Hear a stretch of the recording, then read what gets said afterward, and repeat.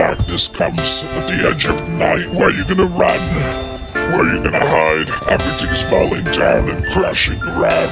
Help me find my way back.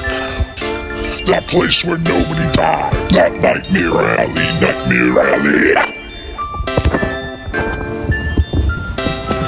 I keep searching for that place where everything is fine, where I can see your face. Here in the darkness, everything fades away. Here in the darkness, I begin to lose myself again today. Living in the gray, always waiting for an answer. Suspense, killing what I have left because I'm searching for that nightmare alley. The one place where I can find you. One place where we can be. nightmare alley.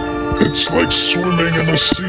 It's like swimming in a sea of madness. Everything is swirling all around me. Time is no longer here. It's no longer precedent. Everything I know is falling and it's crashing down. Help me, help me, help me find my way back now. Something's got a hold of me. And I can feel it as it grips me and pulls me further down. I'm searching for you. I'm trying to fight. I'm holding on more. Please won't you help me? Help me. I feel like I'm drowning. Losing my mind and losing time. Help me. Help me find my way back. Back to where I was. Back to when things were different. No, no, no. Things will be different this time around. I've been stuck here most of my life. I feel like I'm going mad. Taking these pills every single day. Going to doctors and telling them that, hmm, I feel okay. Do I really feel okay? I keep on questioning things in my mind, in the back, you know. That voice that plays on and on at the end of the night. The one time that you think everything's fine, but really it's not. That's the way it feels for me. That's what I can relate to. The crazy part, that crazy mind overpowering feeling. You get me, get that feeling where you just wanna collapse, just wanna fall. Distraction of a building. it's only a matter of time before we all start to. I felt when I was young, I just stayed down.